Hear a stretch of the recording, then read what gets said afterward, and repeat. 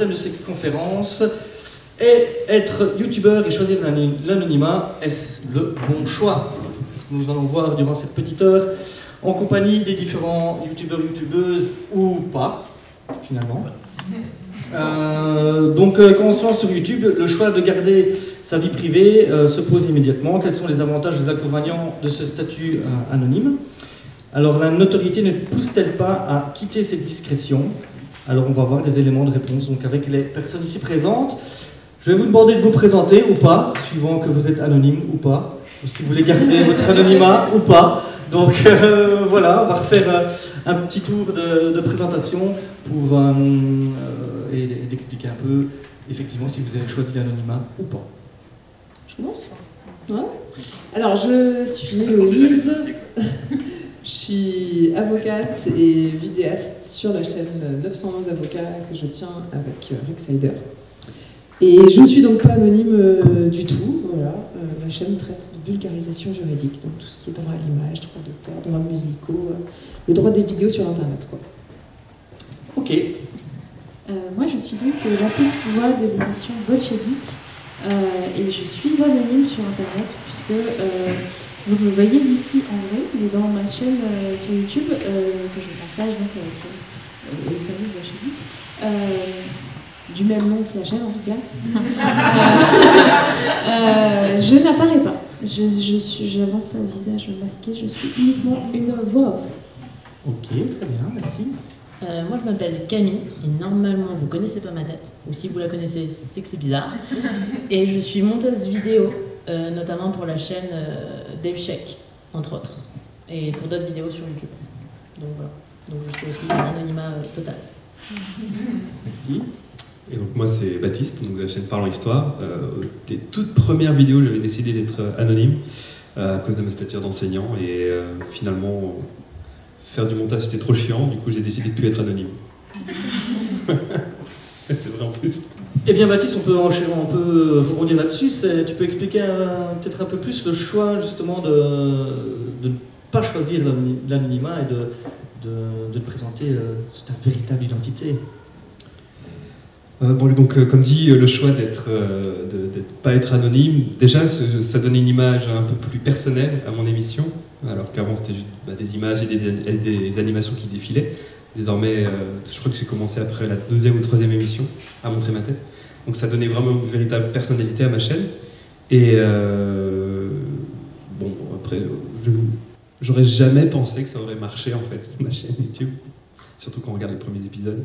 Et euh, du coup, je pensais voilà, que je fasse une émission ou pas en anonyme. Finalement, ça changeait pas grand-chose parce que je pensais que personne n'allait jamais me reconnaître ni que j'allais me retrouver à faire des conférences devant, devant des gens. Donc euh, c'est plus tard finalement que, le, que la question euh, s'est posée, quand, bah, quand ça a commencé à marcher, que les gens commencé à me reconnaître dans la rue. Du coup, bah là ça a tout changé en fait. Ça a tout changé. Bon, j'avais plus le choix. J'avais plus le choix, je pouvais plus redevenir anonyme du coup. Euh, et euh, c'est ce que je disais tout à l'heure dans la salle de repos, c'est que ça, a vraiment changé euh, par rapport à ma relation avec les élèves, parce que bah, quand, en fait, la posture est extrêmement différente entre quand, quand on est youtubeur ou quand on est prof. quand on est prof, eh ben, on détient le savoir, et mon savoir, je vais le dispenser à mes élèves qui sont le réceptacle de ce, de ce savoir et qu'ils ont intérêt bien de le reproduire, sinon, euh, sinon brevet, bac, tout ça, toi-même tu sais, tu vas le rater. Du coup, euh, voilà, il, y a une posture vraiment verticale, le prof en haut, les élèves en dessous qui... qui... Après. Qu'est-ce qu'il y a des... J'expliquerai là, pardon, mais des choses qui arrivent. Bah t'es bruyant.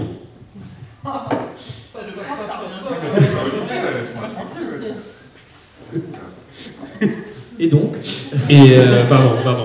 Et euh, en fait, avec le avec euh, YouTube, on est plus dans l'horizontalité. En fait, c'est quand, quand, on va voir un YouTuber, c'est parce qu'on apprécie son travail, parce qu'on on, l'apprécie tout court. Et il y a vraiment une démarche de volontariat en fait à aller le regarder, parce qu'il y a un choix vraiment pléthorique sur, sur la plateforme. Donc vraiment, si on va voir quelqu'un, c'est qu'on en a envie. Alors que le prof, bah, si on va le voir, c'est qu'on n'a pas le choix. Parce que la société m'a dit d'être là, mes parents m'ont dit d'être là, la loi me dit d'être là. Donc c'est vraiment la posture est vraiment très très différente. Et du coup, euh, quand mes élèves apprennent que je suis prof, ça, ça, ça change vraiment absolument tout parce que. euh, Hein? Ah oui. les élèves apprennent que je suis prof en général la première séance. Mais les élèves aussi apprennent plus tard que je suis youtubeur et euh, du coup je passe d'un statut de, euh, de mec inaccessible, un peu chiant qui, euh, qui va nous apprendre des trucs et je vais retenir à peine un quart, à euh, possible pote qui a des trucs intéressants à dire.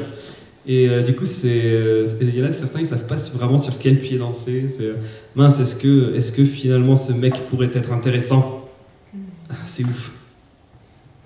Donc du coup, c'est, euh, et du coup, j'ai des élèves qui, euh, qui se sont, qui sont vraiment intéressés à l'histoire à partir du moment où ils ont appris que j'étais, euh, que j'étais, que j'étais prof, que j'étais youtubeur, décidément. décidément, désolé, c'est la fin de la journée. Et, et, du, coup, je suis, du, coup, je suis, du coup, je suis vraiment content de ne pas être anonyme. Je suis vraiment content parce que ça a changé ma relation avec les, avec les élèves. Extra. Héloïse, peut-être, euh, qui a gardé aussi euh, ton identité. Yes, je l'ai gardé. Euh, je m'étais beaucoup posé la question, effectivement, d'être anonyme ou de mentionner mon nom et du coup, tant qu'à faire, ma qualité d'avocat. Parce que je me disais, est-ce que j'assume, en fait, par rapport euh, bah, aux personnes qui me donnent leur confiance, en fait, pour défendre leur dossier, pour rédiger leur contrat, etc. Puis est-ce que ça va pas aussi éloigner peut-être des futures personnes euh, qui vont tomber sur ces vidéos et qui vont se dire, mais c'est quoi cette avocate qui fait la guignole euh, devant sa caméra? Non, mais il y a beaucoup de préjugés quand même. Donc, du coup, je m'étais vraiment posé la question. Puis, après, ce qui a fait pencher la balance, c'est que je me suis dit que le fait de mentionner le nom et du coup la qualité d'avocat, c'est aussi une sorte de gage de sérieux. Enfin, c'est une façon de montrer que la démarche est sérieuse et qu'à a priori, je me suis documentée sur la question et qu'a priori, je raconte pas n'importe quoi. Donc après, je, mentionne quand même absolument toutes les sources, toutes les décisions euh, que je cite, tous les articles de loi sur lesquels je me fonde, etc. Euh, ça fait un peu argument d'autorité, donc ça fait un peu nul, mais n'empêche qu'on va dire que ça. Je sais pas comment vous dire. C'est un petit peu le débat qu'on a vu dans une autre conférence par rapport euh, au- au- enfin, à l'utilisation des vidéos dans l'éducation et la nécessité de mentionner des sources, etc. Et le fait d'avoir des sources, déjà, c'était un peu un gage de sérieux. Bah, J'ai tendance à penser que le fait que la personne qui est en train de parler d'un truc juridique soit avocat, c'est quand même a priori un gage de sérieux. Donc c'est euh, notamment pour ça que j'ai fait ce choix. Très bien. Et à contrario, pour la, petite voix, c'est un choix ou c'est toi qui as décidé justement de rester, de faire la petite voix, de rester anonyme ou... Ouais, tout à fait. C'est vraiment un choix euh, volontaire euh, et complètement assumé de ma part. Euh, et ce pour, pas mal de raisons. La première, c'est que j'avais pas envie d'apparaître physiquement sur, la chaîne, sur Internet. Et que quand on a pensé la chaîne, quand on a pensé l'interaction entre les personnages, euh, il n'y avait pas plus de raisons que j'apparaisse physiquement euh, que de raisons que je n'apparaisse pas physiquement. Et c'est même maintenant, a posteriori, je me dis vachement plus intéressant sur la trame euh, fictionnelle entre guillemets qu'on a, tissée sur, sur la chaîne Bolchevique.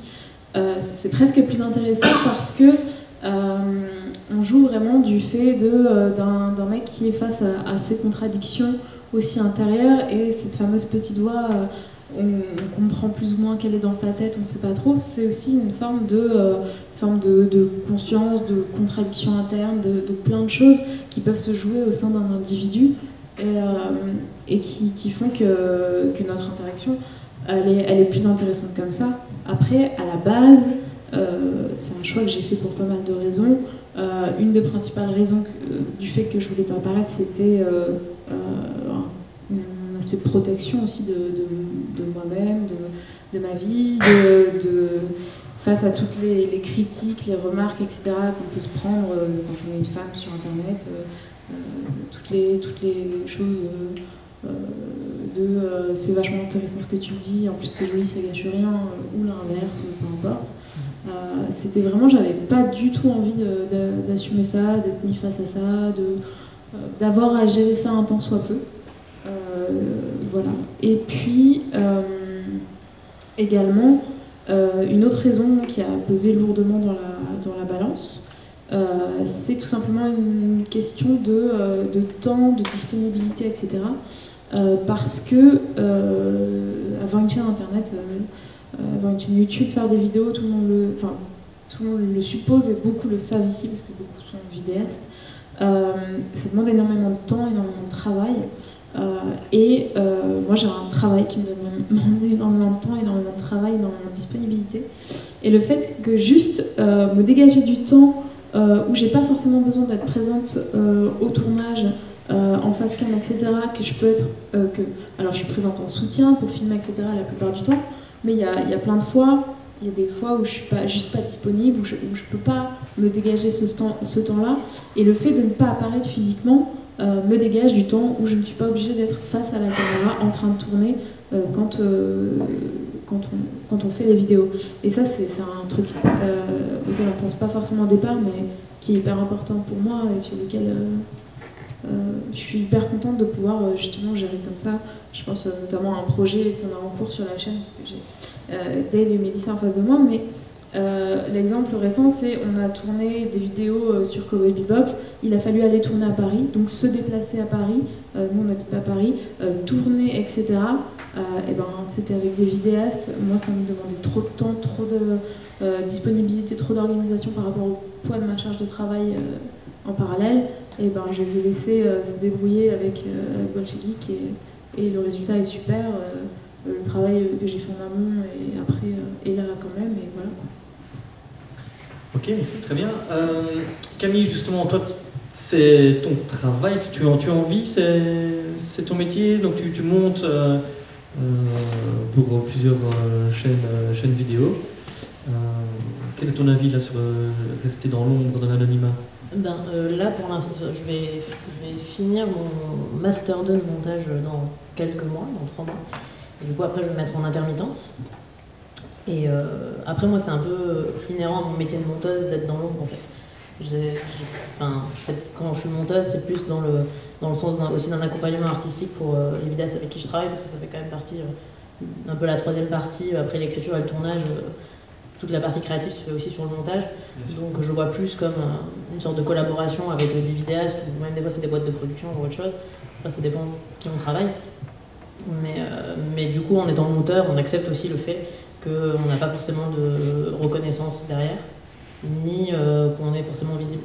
Ça fait aussi partie du jeu. Euh, c'est pas forcément. Et puis après, il y a tous les avantages de, de l'anonymat, notamment justement ce que tu disais, le fait de pas avoir de commentaires déplacés en tant que femme sur Internet, ou juste pouvoir être tranquille dans la rue, des choses comme ça. C'est quand même pas mal. De, que les gens ne savent pas qui on est, c'est quand même euh, un confort aussi.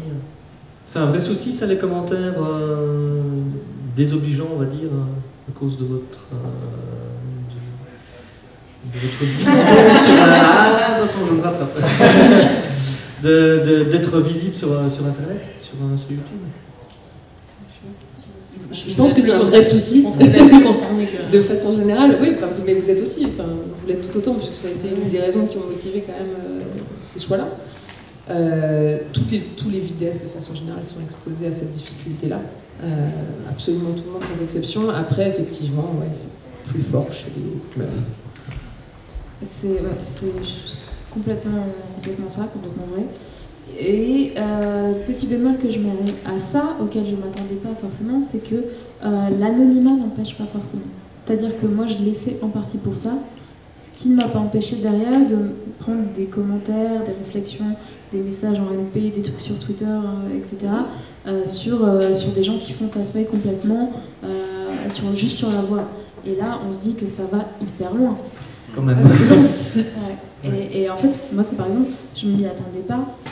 Et je pense que euh, j'ai mis l'hypothèse que ça n'arrive pas chez des hommes, ou peu chez des hommes qui font de la voix off, euh, notamment. Euh, mais même ça n'empêche pas, quand on est une femme, de.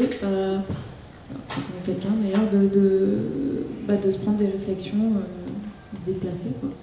Et d'un autre côté, c'est assez triste en fait de se dire qu'il y a des femmes qui choisissent l'anonymat ou faire que de la voix off sur YouTube, pas pour des enfin bonne raison aussi, parce que c'est même pour se protéger soi-même, mais en tout cas que le contexte sur Internet fasse que certaines sont obligées euh, de se cacher euh, de cacher leur visage pour euh, se préserver un minimum. Parce que du coup, s'il n'y avait pas ce souci-là, admettons, un enfin, délire complètement hypothétique, on vit dans une société où tout le monde est super sympa, est-ce que ça aurait vraiment pesé, enfin ça aurait, ça aurait changé peut-être votre position Moi, peut-être à la base, ouais. Je pense que la réflexion était peut-être plus compliquée. Euh, je pense que si j'avais pas euh, voilà, conscience et observé tous ces comportements-là sur Internet et sur les réseaux sociaux de manière générale, je pense que ça aurait peut-être changé à la base. Je dis pas que ça aurait forcément changé au final parce qu'il n'y avait pas que ça dans ma réflexion, à titre perso, mais ouais, ouais, j'aurais réfléchi davantage. Baptiste, tu as des commentaires euh, dans ce sens-là aussi sur, euh, sur, euh, sur ta chaîne, euh, en tant qu'homme, on va dire? Euh, bon, euh, du coup, certes, euh, j'en suis persuadé, moins que mes collègues féminines, mais euh, ouais, dès que de toute façon on apparaît euh, face cam, c'est, euh, on a des commentaires sur tout et n'importe quoi. On a beau avoir fait la plus belle vidéo du monde, on aura des gens Ah, ton point de beauté me perturbe. Et la vidéo, sinon, elle était bien C'est ça, je, je me suis investi des centaines d'heures dans cette vidéo, je sais pas, t'en as pensé autre chose que mon point de beauté? Euh, C'est ça, c'est euh, pareil, j'ai parfois la bouche qui part un peu de travers. Oh mon dieu, ça, te- ça me perturbe. Bah écoute, euh, regarde pas ma vidéo si ça te perturbe. Enfin, mais oui, euh, de toute façon, dès qu'on apparaît euh, personnellement dans sa vidéo, on aura forcément des gens qui vont parler de notre, de notre physique. C'est le jeu, quoi? C'est C'est le jeu, quoi, malheureusement. C'est le jeu, voilà, c'est ça. C'est, euh, Moi, j'ai vu aussi euh, ton regard me stresse. Parce que je regarde pas Regard. loin. Ouais. Et du coup, euh, ça stressait le joueur. Je...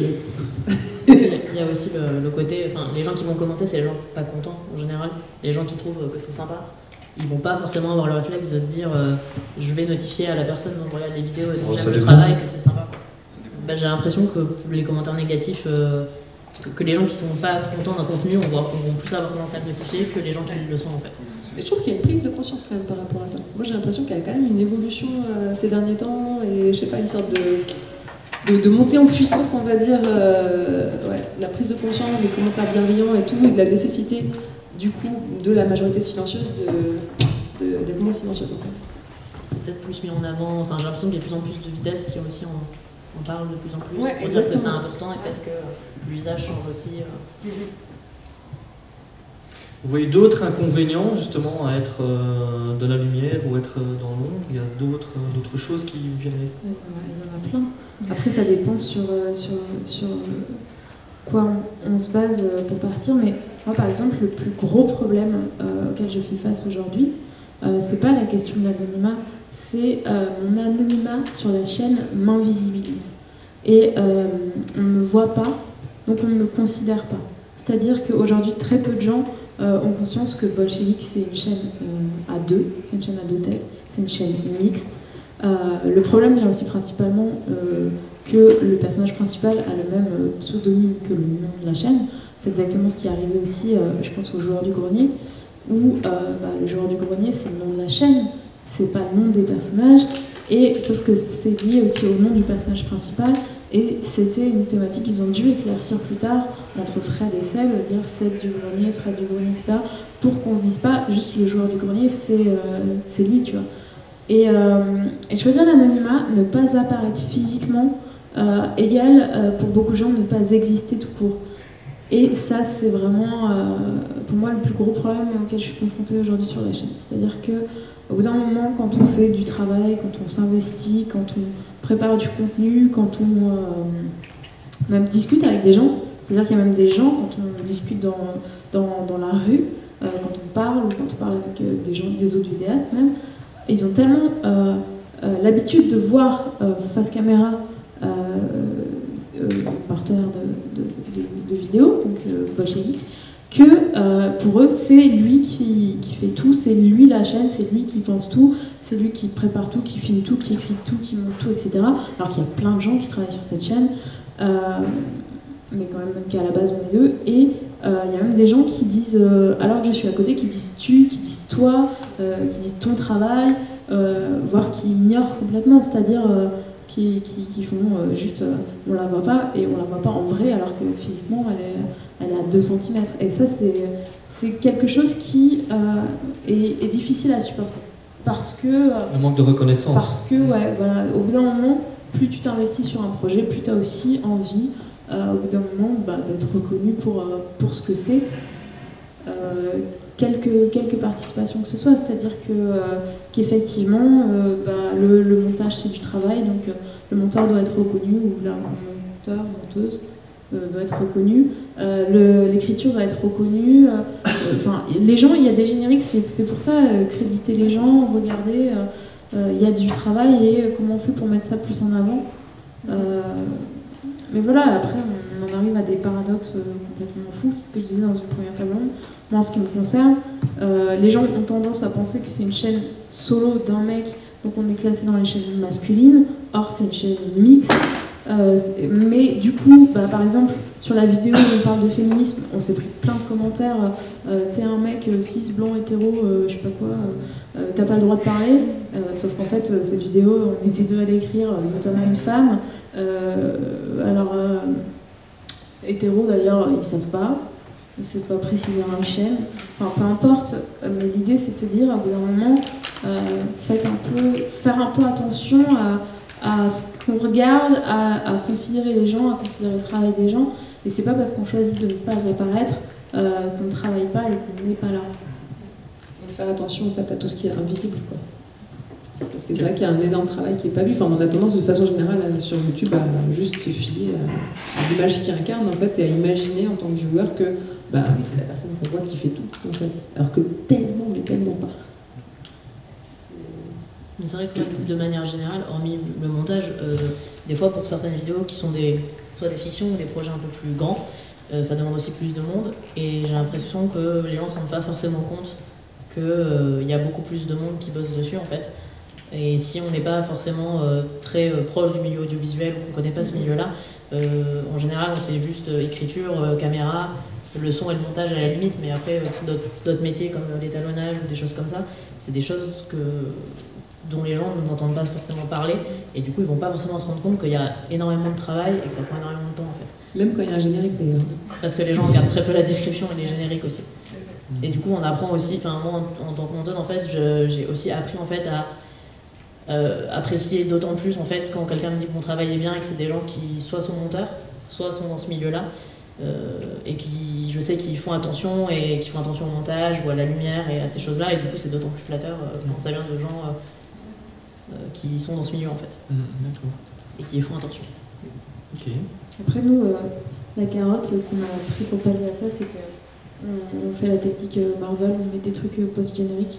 Comme ça, ceux qui connaissent la chaîne, bah, ils restent jusqu'à la fin du Ça, générique ouais. et ils voient, ils voient les, un- les descriptifs. Ah C'est un bon truc. ouais. Bonne astuce. Attention. Très bien. Euh, justement, dans, dans, dans ce fait d'être, euh, de, de ne pas être anonyme justement euh, face caméra, est-ce que ce serait, pas un frein à une certaine liberté d'expression? Est-ce qu'on va pas justement euh, avoir euh, des, blocages par rapport à ah, tiens, ça j'aurais bien voulu le dire, mais comme je, suis en personnalité publique, je vais peut-être pas oser m'exprimer librement sur, sur Internet. Grave. Ah, vraiment, enfin, moi je me sens bloquée sur plein plein de choses. hein. Et très clairement, je me permettrais vachement plus de trucs si j'étais anonyme. Euh, ou bien si on connaissait uniquement mon visage, mais pas mon prénom, pas mon nom, pas mon travail, etc. Euh, Enfin, moi je me sens. euh, franchement, je me sens à l'étroit en fait. Vraiment. Après, c'est voilà, la contrepartie. Parce que ce qui a pesé dans la balance aussi dans mon choix, par rapport à ce que tu disais, c'est justement aussi la reconnaissance du travail. C'est-à-dire que c'est pas du tout une notion d'ego dans le sens négatif du terme, genre la valorisation et, et, et la tête qui explose, etc. C'est pas du tout ça. C'est plus, justement, par rapport à ce que tu disais, c'est qu'il y a un vrai travail qui est effectué. Donc pourquoi est-ce que je vais pas dire que c'est moi, en fait? Parce que j'ai passé 50 heures. Bah oui, c'est Héloïse Wagner qui, l'a fait, en partie, parce qu'on est deux. Et, et j'ai pas envie de passer ça sous silence, en fait. C'est des trucs euh, qui me font plaisir, avec lesquels je m'éclate, et, euh, qui sont offerts gratuitement en plus. Donc euh, oui, j'ai envie de mettre mon nom dessus. C'est assez bête, c'est assez... c'est assez, assez humain en fait, je pense. Baptiste, tu as bah, je- du coup, je suis absolu- absolument de ton avis, Héloïse. C'est, j'ai des sujets que je traiterai jamais, euh, d'une part parce que euh, bah, je- les gens me connaissent maintenant, et aussi d'autre part parce que, en fait, plus tu as une visibilité, euh, moins tu es libre de parler. C'est, c'est proportionnel en fait. Moins tu es connu, plus tu peux dire de la merde, on s'en fout. Enfin, les gens s'en fichent quoi. Mais plus tu vas être connu, plus tu vas avoir des gens qui vont venir te dire que ce que tu dis c'est pas bien, enfin, bref, te dire de quoi penser. Et euh, bah, par exemple, un sujet que je traiterai absolument jamais, c'est euh, Israël. Quoi. Il y en a plein qui me le demandent, c'est hors de question, mec. Je traiterai jamais ce sujet. Parce que c'est le truc, le truc le plus polémique de la planète, c'est juste hors de question. On s'est essayé avec, euh, avec Dave sur la Syrie, personnellement, j'ai failli supprimer la vidéo parce que je me suis pris des, des sacrées claques dans les commentaires. de J'ai eu les pro-Poutine, les pro-Kurdes, les pro-Assad, j'ai eu les pro... ah, de tout. quoi. Qui sont venus me dire que je faisais de la merde et euh, eu mais vraiment des commentaires haineux. Et, euh, Ça peut faire peur des fois. bah, enfin, ça me- ouais, ça m'a fait peur, ouais, c'est, euh, ça m'a ça m'a dissuadé pendant un temps de faire des vidéos. hein. Ah oui, ouais. Bah, parce que c'était vraiment violent. hein. J'ai, euh, j'ai dit- c'est à ce moment-là que j'ai nommé des modérateurs sur la chaîne parce que j'en avais, j'en avais assez de lire tout ça. Quoi. C'était, c'était vraiment violent. Ça aurait vraiment changé quelque chose si ça avait été le même propos euh, Il y a, enfin, il y a un- Ben, t'as pas à l'assumer sous ton nom en fait. Déjà, C'est donc, ça, donc tu voilà. te sens moins visé personnellement Je en tant qu'individu. Mm. Parce que là, du coup, les gens, euh, toi, si vraiment quelqu'un déteste mon travail, tu vois, là, par exemple, il y a un mec, il a fait 300 km pour venir me voir. Euh, si j'étais en voix off, enfin, en- anonyme, bah, enfin, euh, comment dire, euh, si quelqu'un aurait absolument détesté mon travail et qu'il voulait me le montrer, tu vois, il aurait pu venir aujourd'hui et, et me mettre dans la gueule, quoi. C'est, euh, c'est, il y, a- a des haters qui vont, qui vont jusqu'à là. hein. Donc, euh, je pense que ça peut être dangereux, tu vois, d'a- de- d'aborder un sujet aussi polémique euh, tout en étant connu. Nous, on ressent vachement sur la chaîne, au-delà de la question d'anonymat, le fait d'avoir une petite communauté euh, nous permet, en plus ils sont hyper sympas, nous permet de. On parle de ce qu'on veut, pour l'instant on n'a jamais eu à se préoccuper de dire je vais pas parler de ça, alors même que par exemple, euh, bon, j'ai parlé face caméra, en fait le fait qu'on soit une petite chaîne euh, assez intimiste finalement, nous permet de, de dire euh, j'ai envie de parler de ça, je le fais, et, on s'est tapé des tripes. euh, voilà, on, avait envie de parler de trucs, on, avait envie de parler, par exemple, de faire plein de vidéos sur l'anniversaire de la Révolution Rouge, ben, on l'a fait. on avait envie de faire du karaoké sur Anastasia en faisant chanter Usul et Belle Tapas, on l'a fait. Enfin voilà, et le fait d'avoir une petite communauté, je dis petite communauté, on 15-16 000 abonnés, euh, euh, on n'est pas à 3 non plus, mais. euh, mais ça, joue. Ça joue et le fait, c'est- confort. Et il y a plein de gens qui nous disent tout le temps Ah, c'est dommage, vous n'ayez pas plus, que vous n'ayez pas plus d'abonnés, qu'on ne vous voit pas plus, etc. Et c'est hyper sympa aux gens de dire ça et de le penser. Mais nous, à chaque fois, on répond bah, En fait, on est bien, on fait ce qu'on veut, personne nous embête.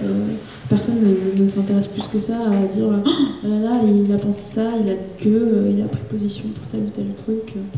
Les gens s'en foutent. Quoi. Oui, Camille. oui. Moi, j'ai encore, enfin c'est un peu bête, mais sur les vidéos sur lesquelles je travaille, des fois c'est des vidéos où je travaille assez longtemps dessus, euh, quand je lis les commentaires des vidéos, ça me touche encore beaucoup. Alors que ça, bah, parce que quand le- on me dit la vidéo est pas bien, alors que je me dis ah, j'y ai passé du temps, et les gens savent pas que c'est, en partie moi aussi, donc euh, c'est bête, mais du coup ça, il y a un- j'ai encore du mal à un peu à prendre cette distance et de me dire euh, c'est pas non plus, surtout quand on travaille sur beaucoup de vidéos, euh, quand on en finit une, on en reprend une autre en général. Mais c'est vrai que quand c'est une vidéo en particulier, on a beaucoup travaillé dessus. Le fait euh, de lire les commentaires, ou que ça n'a pas, été- bien reçu, ou des choses comme ça, ça touche encore pas mal. Alors que pourtant, c'est pas nommé, enfin, Ouais. c'est pas un commentaire particulier sur telle ou telle personne, c'est plus même sur le travail en lui-même. Mais, Mais toi, tu te sens visé. Ouais, parce que du coup, on passe quand même beaucoup de temps dessus. Du coup, euh, je pense que c'est un truc, euh, avec le temps, on, finalement, on apprend aussi à prendre du recul.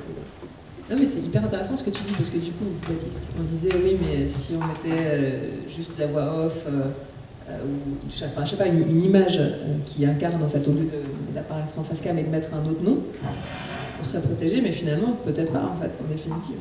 Après, toi, t'as me ton nom qui, apparaît- apparaît. Non, non, par- pardon, enfin, je, t'as ton nom qui apparaît quand même. Ouais, ouais, dans les crédits.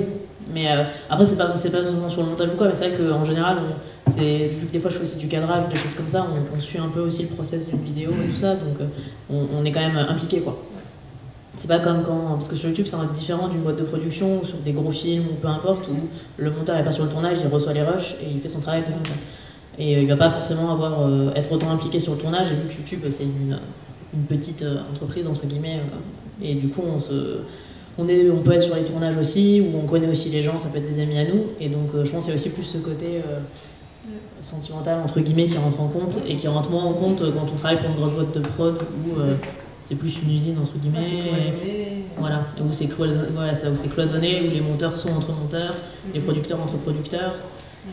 Et en plus, en plus, il y a le format aussi qui est pour la télé, par exemple, où on va toujours monter euh, sous le même format. Donc il n'y a pas ce côté euh, a pas ce côté sentimental, de créatif de chaque vidéo qui va être différente.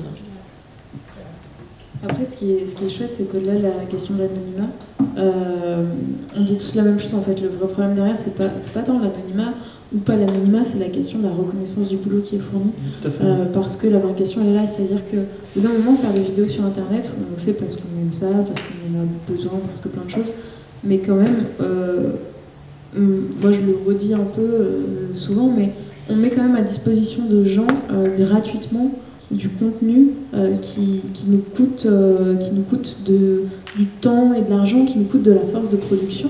Donc on, investit du temps, de l'argent, de la personnalité, de plein de choses sur un contenu qu'on met à disposition des gens, donc sur du travail, on leur offre gratuitement, un peu comme une sorte de, prenez ça comme un cadeau si vous voulez, tu vois. Mais, euh, mais voilà, derrière, euh, derrière la, contrepartie qu'on attend, c'est vraiment la reconnaissance sur, sur le travail qui est fourni. Euh, on attend tout ça en fait. C'est le vrai fond du truc. C'est ça, et ça ne vous donne pas envie, vous qui êtes dans l'ombre, de, de passer dans la lumière et vice-versa? Toi, Héloïse, de, de, de dire, ben, ok, je vais peut-être, ou Baptiste, hein, de se dire, là, je, je me sens trop enfermé dans mon truc, je vais euh, peut-être mettre, euh, continuer ma, chaîne, en créer une autre avec un personnage fictif qui va me permettre de, m'exprimer librement. Et euh, même question pour, pour vous qui êtes, qui êtes plutôt dans, enfin, dans l'ombre, entre guillemets, hein, mais de se dire, ok, ben moi, mon envie de reconnaissance est telle que j'ai envie aussi de, de passer devant, devant la caméra et de, de me présenter comme ça au public. quoi. Bah, si je peux me permettre de commencer. Pour ma part, euh, pour ceux qui, si- s'il y en a ici qui suivent ma chaîne de- depuis ses débuts, j'ai mis un temps phénoménal à me trouver une identité propre. Mais vraiment, c'était très très long où je me suis cherché et puis au début, j'étais très mal à l'aise. Et euh, maintenant que j'ai enfin trouvé euh, ma patte, c'est maintenant c'est normalement en tout cas ceux qui suivent mon travail, mes vidéos, bah, ils le reconnaissent parce que c'est c'est vraiment mon identité propre. Euh, non, j'ai pas envie de changer. Donc même si je m'auto-censure pour, euh, pour ne pas traiter tel ou tel sujet, euh, je préfère rester, rester euh, bah, visible finalement. Et euh, comme, comme j'ai dit euh, tout à l'heure, ça permet aussi à la chaîne d'avoir vraiment une, euh, bah, une identité qui, qui, lui est propre et, euh, je suis heureux comme ça. Même s'il y a des désavantages, je trouve que les, bah, les avantages sont supérieurs à ces inconvénients. D'accord. Ouais, pareil. Enfin, quand je fais la mise en balance, euh, les avantages sont vachement plus conséquents en fait. Et euh, non, je change pas. Effectivement, je, je me sens à l'étroit, je me sens intriquée parce que je peux pas tout aborder, je peux pas tout traiter de la façon dont je voudrais le traiter. Mais, euh, mais non, c'est c'est bien. On est heureux. On est- nous sommes heureux. Et vous, vous êtes heureux? Moi, c'est un peu pareil. Euh, je pense pas que j'aimerais changer. Alors, je suis dans une position un peu ambivalente euh, en ce qui concerne la chaîne. Mais le côté euh, être dans l'ombre pour faire naître des projets, c'est un truc qui a toujours fait partie de moi et qui, qui en fait partie euh, au-delà de l'aspect vidéo sur Internet. Moi, mon métier dans la vie, c'est de faire la production et l'administration de spectacles. C'est-à-dire que je fais en sorte que les spectacles existent, que euh, quand un, artiste a une idée, euh, bah, de faire que ça devienne un spectacle que les gens puissent voir. Euh, mon métier dans la vraie vie, il est aussi dans l'ombre. À la fin du process, eh ben, vous allez aller voir un super spectacle, vous allez l'applaudir, vous allez être fan des comédiens, vous allez aller revoir leurs pièces, etc. Et euh, moi, je vais être juste méga contente parce que, parce que voilà, c'est tout un travail derrière.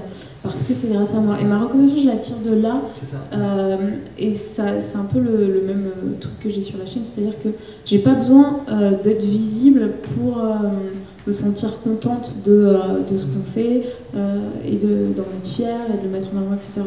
Là où je remets un peu les choses en question, c'est euh, moi, ma demande, c'est pas du tout, euh, et mon envie, c'est pas du tout euh, de passer dans la partie visible du tout, au sens littéral, visible à la caméra. Par contre, c'est de remettre la question de n'invisibilisons pas, c'est super dur à dire, les anonymes. C'est-à-dire, attention à pas nier le travail de quelqu'un, la présence de quelqu'un, et c'est plus ça mon, mon envie et mon petit combat entre guillemets, c'est de se dire, moi j'ai vraiment super envie qu'au bout d'un moment les gens, et tout de suite ça tilte de dire, ok cette chaîne-là ils sont deux, ils bossent à, ils bossent à deux, ils, ils coécrivent, ils font plein de trucs, euh, voilà, et, et ça passera pas euh, par euh, moi qui apparaîtrai dans euh, la caméra, euh, à part sur les chaînes euh, des copains euh, pour faire plaisir. mais, euh, mais voilà, ça passera jamais par là parce que c'est pas, pas le but, c'est pas l'envie. euh. Mais par contre, ouais, euh, une envie que ça change sur certaines choses, euh, carrément.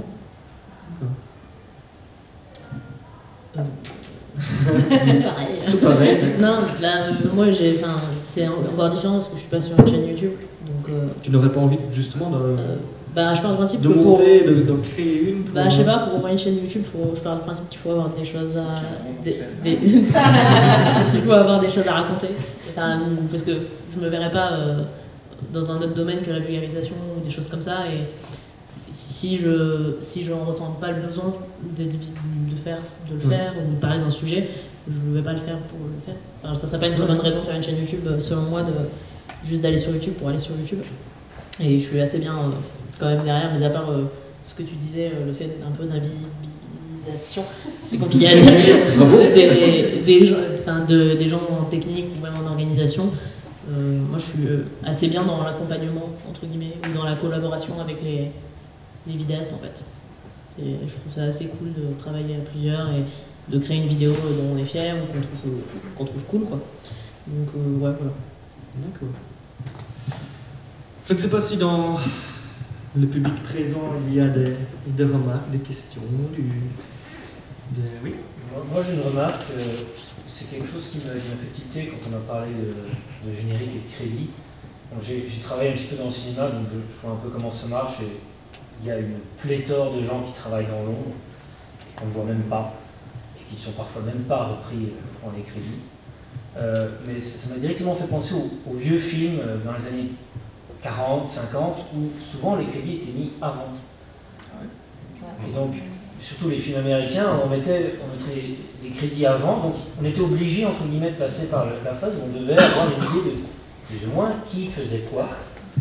Et c'est vrai que la reconnaissance, en fait, vous vous manquez, c'est parce que vous n'êtes pas suffisamment mis en avant. Ça ne va pas forcément être fait sous, sous votre identité. Enfin, moi, la personne qui me fait directement tilter sur YouTube, c'est Horizon Bulle. Il fonctionne complètement dans, dans l'anonymat avec, euh, comment dire, avec euh, Alexivis, et on ne sait pas qui ils sont. Et pourtant, ils ont, ils ont réussi à construire, euh, comment dire, une identité euh, entre guillemets parallèle, qui, qui, qui leur permettent de, de développer des idées, de développer des concepts, tout en entre guillemets se protégeant de. de- de- Alors, la- à la différence que euh, dans, dans le cas de cette chaîne-là, euh, la petite différence que je note par exemple avec ma position à moi, c'est que euh, il est masqué, mais Oui. il est là. Physiquement, Oui, il est là, oui. il est incarné. Et la différence, elle est là. Elle est que euh, on se rend vraiment compte, euh, dans le cas de Camille, dans mon cas, euh, que voir, voir égale Voir, être là. Voir, c'est croire, peut-être, Exister, probablement. Mais en tout cas, voir, c'est exister. Et la différence, elle, elle est, elle est vraiment là. Et puis par rapport à, à ce que tu disais par rapport au générique au début des films, la chose qui diffère sur YouTube, c'est que les gens ils peuvent passer en fait. Et je pense Ouais. que mettre- par exemple mettre un générique au début, vu que les gens ne déroulent pas forcément la description, je suis pas sûr qu'il il faudrait vérifier sur une vidéo Ouais. avec un watch time. Je suis pas sûr que, Ouais, les, ouais, que, les, que les gens resteraient en fait le temps du générique de début. Ouais, c'est ça, c'est. Je suis pas sûre. c'est- par- Non, pardon. vas-y, vas-y, vas-y. Euh, bah, attends, parce que YouTube, on est vraiment dans l'immédiateté. Parce que toi, il y a une pléthore de, de vidéos qui sont disponibles chaque seconde. Donc, si, si euh, c'est pour ça qu'on fait du putaclic un peu euh, soft, certains. Mais euh, si tu, si tu, en je pense, hein, ça c'est mon avis personnel, et vous avez tout à fait le droit de le contredire, que si tu mets quelque chose, un générique au début, je pense que soit ça va essayer d'a- d'accélérer, soit ça va changer rapidement de vidéo, et euh, du coup, tu auras une rétention, de, une fidélisation de l'audience qui sera pas top. Forcément. ouais. Je me trompe peut-être. Bah, sauf sauf peut-être, je sais pas, sur des chaînes de niche ou de fiction euh, où les gens sont déjà prédisposés en disant je vais cliquer sur un, court métrage de 10 minutes Et là, du coup, c'est une posture différente que du fast cam où ils veulent apprendre quelque chose et ils n'ont pas forcément envie de se taper euh, 10 secondes de générique de euh, qui a fait quoi, je pense. Et surtout que ça me permet de rebondir euh, justement sur une discussion euh, qui est en lien avec ça et qu'on avait tout à l'heure, euh, notamment avec les, euh, les gens du MOC. C'est-à-dire qu'il y a aussi la question de euh, qu'est-ce qu'on met derrière les termes euh, dans les crédits. Euh, et ça, ça change beaucoup la position et la vision du, public et des choses. C'est-à-dire que pour nous, il y a des choses qui paraissent claires parce qu'on travaille là-dedans, parce qu'on fait des vidéos nous-mêmes, parce que c'est notre cœur de métier, parce qu'on est intéressé dans ça. Et je pense par exemple aux gens effectivement qui vont voir de la fiction sur Internet, notamment des courts-métrages avec des techniques d'animation, etc. Mais euh, il y a des mots qu'on utilise qui pour nous euh, veulent dire des choses, qui sont éminemment porteurs de sens et qui pour les gens euh, ne veulent rien dire du tout. Le, le débat qu'on avait par exemple, c'était dans qu'est-ce qu'on met derrière le mot production, qu'est-ce qu'on met derrière le mot écriture? Parce que par exemple, nous sur la chaîne, on, on crédite l'écriture d'une certaine manière. Mais euh, typiquement, moi, un épisode que je vais euh, complètement penser, scénariser, euh, écrire moi-même, etc., euh, euh, la manière dont on travaille avec mon binôme euh, fait que euh, on a beau discuter, euh, euh, travailler, etc., euh, arriver à un script avec euh, des tirés plein d'idées, etc. Derrière, euh, lui, il écrit et il écrit très bien. Il a un style, il a une forme, il a une plume, qui est ce qu'on a décidé que ça allait être le ton de la chaîne. Donc fatalement, pas fatalement du tout d'ailleurs, mais forcément, euh, même moi, les épisodes que, j'écris, que je prépare, etc., euh, qui sont mes bébés, entre guillemets, euh, et je pense à un en particulier, ils vont repasser derrière par sa plume, il va les écrire au sens faire des phrases avec un style, une grammaire particulière, etc. Et il est crédité à l'écriture. Euh, il est crédité à l'écriture et euh, au montage parce que en l'occurrence c'est lui qui, monte euh, les vidéos sur la chaîne. Ça ne veut pas dire pour autant que, j'écris rien, que je prépare rien, que je ne suis pas là à la base du travail de la vidéo, ou que c'est lui qui a écrit et que moi je suis juste arrivée pour enregistrer mes voix euh, qui m'aurait préalablement écrit. C'est pas ça qui se passe. Mais parce que nous, notre conception de l'écriture, c'est aussi de se dire, voilà, c'est quand tu lis un auteur, par exemple, quand tu lis, euh, je sais pas moi, du Proust, tu lis pas forcément que pour le fond, tu lis aussi pour la forme parce que tu aimes la manière dont il écrit, dont il tourne ses phrases, etc. Et ben là, c'est pareil. Et l'écriture, c'est ça. Euh, l'écriture, c'est ça qui est différent de la préparation d'un script, qui est différent du tournage, qui est différent de plein de choses. Euh, nous, quand on est production, on pense à eh ben, euh, euh, préparer un tournage, qui, qu'est-ce qu'on va faire, dans quelles conditions on va tourner, quel matériel on va utiliser, avec qui on va collaborer, comment on s'organise, comment on budgète, etc. Quand je suis créditée à la production, c'est tout ça en fait comme travail derrière. Sauf que quand on voit écriture bolchevique et à la fin plus loin production, enfin quelqu'un qui n'a pas ces notions-là, il va pas dire que j'ai fait du travail sur la chaîne. Il va juste dire, bah, je l'ai entendu dans la vidéo. Si jamais il va jusqu'au fait d'aller voir les crédits. Et ça, c'est une question qui est intéressante et un petit peu problématique. C'est euh, comment on discute de comment sont faits les crédits, qu'est-ce qu'on met derrière, et du coup comment le public le reçoit. Et ça, t'as pas de maîtrise de comment le public le reçoit. Parce que nous, euh, ça nous paraît évident euh, quand on met production que c'est ça derrière. Mais les savent C'est ce que ça représente parce qu'on on a expérimenté ça, mais si on n'expérimente pas. euh, Et, et ce qui fait qu'on se retrouve dans des situations où il y a des gens qui travaillent à fond sur des chaînes euh, et qui ne sont jamais euh, reconnus, etc. Euh, on parlait, on, on évoquait euh, des chaînes notamment euh, de gaming ou d'autres trucs euh, qui sont aussi beaucoup intéressantes dans la manière dont elles sont montées, justement, dont elles sont découpées, dans comment elles sont rythmées, etc. Et c'est pas forcément le mec qui à l'écran qui fait ça. Et pourtant, c'est ça qui fait quasiment euh, 50% voire plus de l'intérêt de la chaîne, à mon sens. C'est-à-dire que le propos, euh, au final, c'est un mec qui joue à un jeu vidéo et, voilà, et qui en parle et qui a des réactions à chaud. La manière dont c'est orchestré, par contre, pour créer un rythme, pour créer un suspense, pour créer plein de choses, bah ça, c'est le travail du monteur. Et en fait, le monteur, euh, costaud. bah, c'est- voilà. c'est sans le monteur, en fait, on, on ins- on infiltre du sens dans, dans, dans- dans ce qui est tourné. Donc c'est vrai que la, la position de monteur est super, super importante et, et trop souvent oubliée. Surtout que les, les gens ne se rendent pas forcément compte qu'entre le tournage et le produit fini, il y a des trucs qui se passent en fait. Ouais. Et que effectivement le montage est, port- enfin, est porteur de sens ou de rythme et de, de plein d'autres choses. Et surtout sur YouTube, il y a des codes bien précis, euh, que ce soit en, en lifestyle, en vulgarisation ou en gaming. on des mimes où il y a des codes encore plus précis de montage, et, et les gens ne s'en rendent pas compte en fait. Et je pense que si on faisait un montage totalement différent, bah là ils s'en rendraient compte. Mais vu que c'est tellement incorporé et que c'est tellement naturel pour eux, qu'au final, euh, bon, ça faut c'est un bon montage parce que les gens ne s'en rendent pas compte. Donc c'est plutôt, euh, en général, un montage qui est fluide, c'est que ça va. Ou en tout cas que ça a été, euh, été voulu comme tel. Mais, euh, mais c'est vrai que je pense que sur certaines vidéos, si on retirait euh, cette patte de montage ou ce style-là de montage qui a été vraiment incorporé euh, à ce style pour le gaming par exemple, les gens s'en rendraient compte. Mais par contre, quand il est là, c'est totalement naturel pour eux et ils s'en rendent pas du tout compte et ils se rendent pas forcément compte du travail qu'il y a derrière. Je sais pas si ça me je sais pas si vous avez vu, mais il y a une vidéo de, de Dirty Biology qui a euh, justement fait polémique là-dessus, c'est-à-dire qu'il a essayé une forme euh, de montage totalement différente, en injectant plein de choses très rythmées, très saccadées, euh, plein de gifs, plein de trucs, etc. Un montage qui était hyper complexe, sur lequel il a passé énormément de temps et qu'il a, sorti euh, de la même manière qu'il sort n'importe quelle euh, vidéo. Et ça fait hyper réagir les gens. Parce que c'était, différent et c'était pas ce à quoi ils étaient habitués, c'était une écriture différente. Et du coup, il s'est pris plein de retours, euh, et beaucoup de négatifs d'ailleurs, euh, dans, la- vidéo. Mais parce que, enfin, pour moi, cette vidéo-là, c'est aussi symbolique de ça, justement, de dire euh, le montage, c'est de l'écriture, c'est, comment tu penses ton truc. Et justement, ce genre de truc un peu choc, ça te fait prendre compte que, que bah ouais, en fait, c'est important, ça peut tout changer. Quoi. Mais tout particulièrement sur YouTube en fait. Vraiment beaucoup plus que dans l'industrie ciné, audiovisuelle en fait. J'ai l'impression que c'est vraiment un truc propre à YouTube.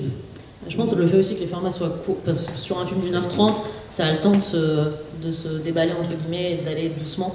Sur YouTube, vu que souvent c'est des formats entre 5 et 20 minutes, faire euh, large, on a rarement plus de 20 minutes, on est obligé d'être aussi plus efficace et plus incisif dans le montage souvent parce que euh, il faut aller au, au, cœur, euh, au cœur du truc. quoi.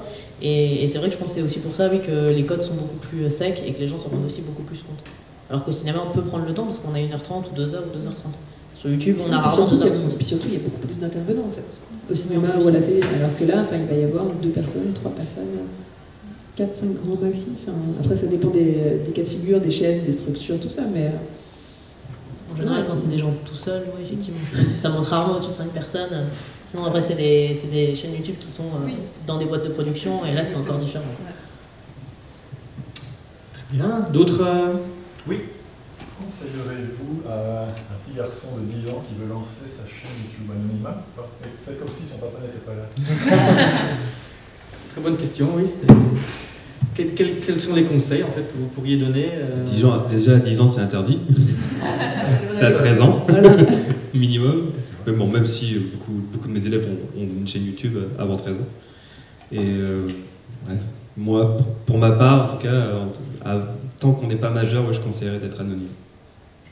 Ouais, et Ce qui n'empêche pas néanmoins de faire quand même des vidéos.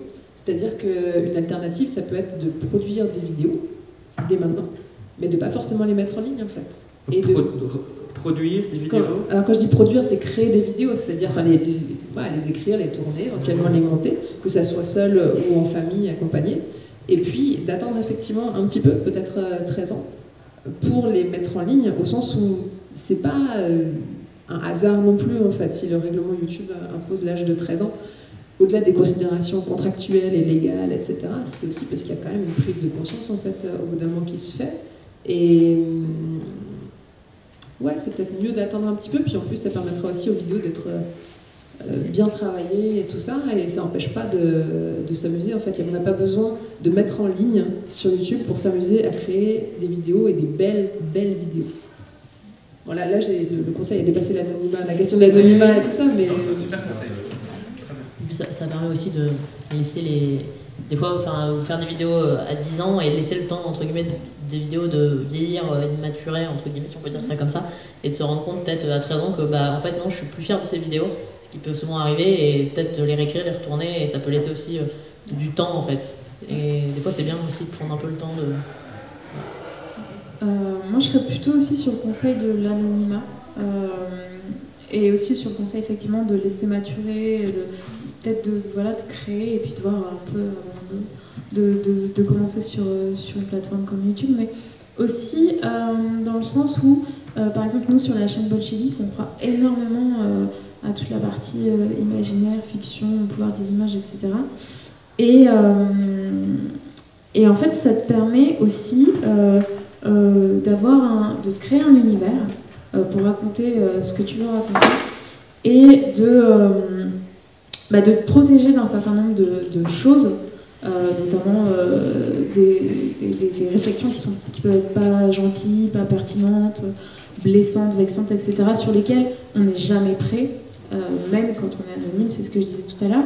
Mais ça te permet aussi de te sentir hyper libre, on en parlait aussi tout à l'heure, de comment tu veux présenter les choses, comment tu veux aborder les choses. Et effectivement, les, chaînes, alors il n'y a pas que l'anonymat qui permet ça, mais en se créant un, voilà, un contexte anonyme et un petit cadre fictif, ça te permet aussi de, bah, de pousser plus loin, d'expérimenter ce que tu veux faire, d'être plus libre dans ce que tu veux dire, de, de proposer, etc. Et, euh, et ça, je trouve ça intéressant. Et de s'amuser encore plus, quoi, du coup.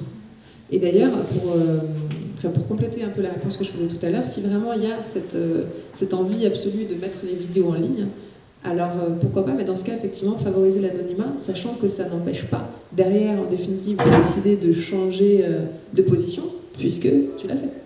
Donc euh, Oui, oui, voilà, au début, tu as commencé comme anonyme, et après, finalement, tu as, fait un choix différent. Donc la chaîne peut très bien évoluer ensuite dans quelques années. De toute façon, Voilà. ouais, façon, ça va forcément évoluer. Parce que bon, j'imagine que ça sera une chaîne gaming. Voilà. Donc, du coup, tu vas forcément, même pour tes premières vidéos, tu vas forcément t'inspirer de ce que tu connais. Donc, tu vas essayer de faire un petit peu de Squeezie, avec un petit peu peut-être de Link Interacid, tu vois, je pense, non? Un truc comme ça T'aimes bien quoi? Je suis vieux, ouais, je sais, 32 ans. Enfin bref, en tout cas, tu vas forcément t'inspirer de ce que tu connais. On s'est tous inspirés de quelqu'un ici, Euh, je pense, au, au moins, bon, sauf de Dave. Mais, mais du coup, voilà, on s'est tous inspirés de quelqu'un. Et du coup, au début, tu n'auras pas ta propre identité. En fait, ton identité, elle va arriver au fur et à mesure que tu vas faire des vidéos et que tu vas t'entraîner. Donc du coup, pourquoi pas ouais, commencer là à 10 ans. Tu les montres euh, à ton entourage, te- ton travail, et puis au fur et à mesure, tu vas te dire, bah voilà, ça j'aimerais bien corriger, ça euh, je vais le changer, ça c'est cool, je le garde. euh, voilà, tu vas te créer ta propre identité, et bam, à 13 ans, tu débarques sur YouTube et tu défonces tout. Tu m'angoisses un peu. Ou alors, une autre solution, ça peut être euh, mettre les vidéos en, non répertorié. Donc elles sont quand même sur YouTube et ça permet d'envoyer euh, le lien aux, gens, euh, à des gens bien précis. Et ça peut aussi protéger de toute, de tout ce- dire, de toute la sphère internet qui peut être pas forcément très agréable ou, très- dangereux pour des, pour des enfants. Quoi. Après, je reviens un peu sur ce que disait Baptiste tout à l'heure. Ça marche dans un sens et pas dans l'autre. C'est-à-dire qu'on peut évoluer en étant anonyme et un coup décider de passer euh, voilà, personnage public, etc. Et tu auras toujours euh, un peu les lauriers de, de la gloire. T'auras ce, que t'as- ce qui est derrière toi, ça s'efface pas. Justement, on dit putain, ce mec-là. Enfin, les Daft Punk, ils ont fait toute leur carrière comme ça. Je suis... Et c'est un exemple d'anonymat fort. Quoi. Tout le monde sait qui ils sont. Tout... Enfin, non, personne, en tout cas jusqu'à il savait qui ils étaient réellement, mais tout le monde les connaissait. Tout le monde connaissait leur travail. Euh, voilà, c'est c'est- c'est un truc énorme. Et, ça, tu ne le perds pas quand tu révèles ton identité. Par contre, l'inverse, euh, l'inverse n'est pas possible. Euh, et, je prends l'exemple, par exemple, de, de Stromae récemment, qui veut abandonner le personnage de Stromae, qui veut retomber un peu dans l'anonymat parce qu'il a souffert de ce qu'il a vécu en étant euh, Stromae. Et ben en fait, c'est pas possible. Il a repris son vrai nom, il a lancé sa, sa marque de, de vêtements avec sa femme, etc. Mais les gens continuent à l'appeler Stromae, à l'associer à ça, alors que lui, il, a, il a affirmé haut et fort avoir besoin de couper avec ça, de plus avoir envie qu'on l'appelle comme ça, parce que ça lui a rappelé des trucs un peu durs à vivre, en tout cas pour le moment. Et ça, c'est pas possible. Parce que les gens, ils, voilà, ils t'associent à un truc de la même manière que des, vidéastes qui changent leur nom sur, leur chaîne YouTube, euh, on continue quand même à les appeler par le, nom d'avant, euh, Histoire brève euh, devant nous, Linguisticae euh, pour euh, Romain Montezuma, etc. Euh, joueur du grenier pour euh, Fred, euh, Fred, Fred du grenier, euh, Frédéric. Enfin, voilà, c'est possible dans un sens et pas dans l'autre. Donc euh, il vaut mieux, il vaut mieux, tu auras toujours plus d'avantages à aller dans ce sens-là qu'à regretter euh, par derrière de de pas l'avoir fait, quoi. Et puis aussi, pour compléter ce que tu dis, il faut aussi garder en tête que tout ce qui va être mis sur Internet euh, restera sur Internet et que même une vidéo supprimée euh, sera conservée euh, dans les méandres informatiques euh, dont je ne peux pas préciser parce que je ne connais absolument pas, mais voilà, ou alors des gens qui auraient pu euh, sauvegarder la vidéo, on ne sait pas où est-ce que ça peut aller en fait. Donc euh, même si Internet c'est très très très cool pour, euh, pour découvrir plein de choses et, tout ça, à côté de ça, il faut prendre conscience que, que tout, toute image ou tout ce qui est mis sur Internet est ancré sur Internet. Donc, euh, faut pas non plus faire ça trop à la légère, parce qu'après, surtout en grandissant, ça peut se retourner contre soi. D'avoir fait peut-être des vidéos à un certain âge où on était plus jeunes, et après en vieillissant, on les regrettait, mais elles sont toujours là, et ça peut, euh, notamment à l'école ou je ne sais quoi. euh, Et bah, disons que. Pardon, je t'ai. Non, c'est bon, la vie. Disons que l'avantage, si tu choisis maintenant l'anonymat, c'est que du coup, quand tu auras 20 ans, bah, si tu as envie de montrer ces vidéos-là et de dire que c'était les tiennes, bah, tu auras toujours cette possibilité-là. Alors que si, fi- enfin, si tu as mis ton nom tout de suite en fait, et que tu t'es vraiment affiché dès le départ, bah, si quand tu as 20 ans, elles te plaisent plus, et ben tu n'as plus le choix. Donc, si, voilà, si d'abord tu commences par être anonyme, ben, ça te laisse cette, cette possibilité-là quand tu es plus grand. Donc, moi, je trouve ça euh, pas mal de se garder euh, cette possibilité de choisir euh, plus On tard. vote l'anonymat, quoi. On vote l'anonymat. Ah, euh, ah ouais, je pense que c'est. Et savoir Mais tu gardes ton choix. adultes, Et t'auras pas aussi.